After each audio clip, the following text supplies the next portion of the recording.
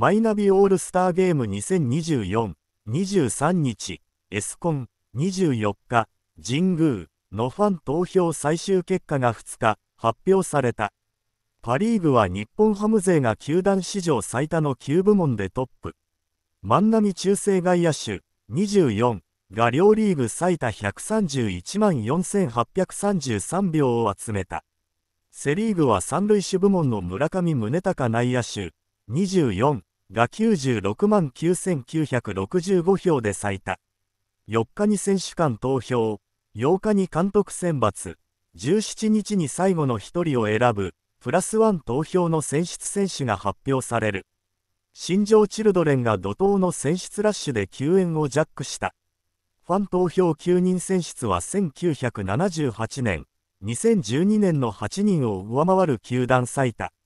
4年7月11日の第2戦、長野で、救援史上初の単独本島を決め MVP に輝いた新庄剛志監督、52は、ここまで選ばれるとは、初めての人は心の底から楽しんでほしい。できたらホームスチールしてほしいと、新庄節で快挙を喜んだ。投手は山崎、河野、田中忠が独占し、野手も12球団最多得票の万波、タミヤ、マルティネス、上川端、郡司、水野がトップ。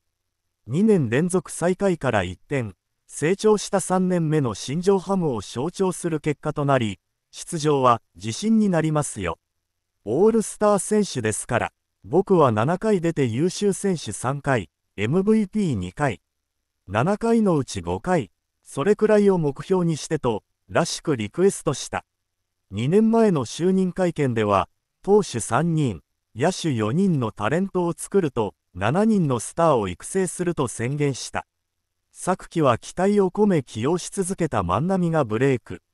今年は過去5年で1軍出場31試合だったタミヤを正捕手で起用し、才能を開花させた。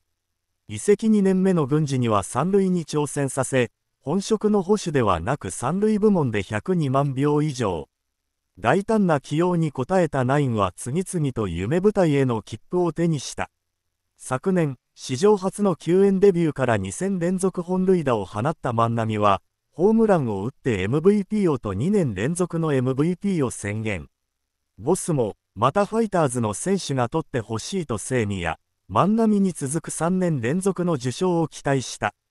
昨季最下位のため自身は監督、コーチでベンチ入りできないが、数日前には監督室に教え子らを呼び、照れて野球をやるな。一生懸命が一番と救援の心得を熱弁、うちの選手にこねた、仕込もうかなと愛情たっぷりに、チルドレンを採点に送り出す。球界屈指のお祭り男が育てた選手たちが、真夏の祭典を熱く盛り上げる。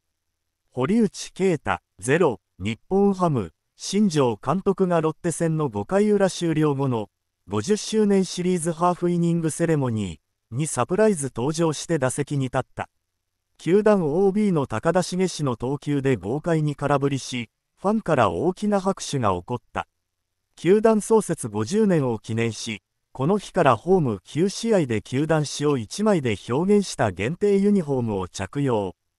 試合前セレモニーでは歴代ユニを着用した田中幸雄氏、小笠原道弘氏らがファーストピッチセレモニーを行うなど球場を盛り上げた。